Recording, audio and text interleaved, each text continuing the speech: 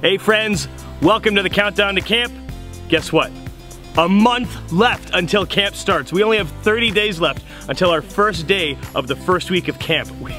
We're so, we're so excited. In fact, we're so excited that next week, starting on Monday, you guys are gonna get some emails fired to you each day called the Just Getting Started Challenge. Now the directors and myself, we all got together in a lodge and we played some hilarious games and we want you guys to try those games out at home to get excited for the summer.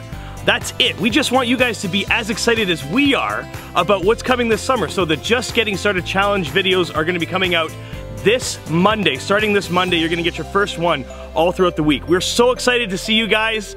Have fun. We'll see you in a month.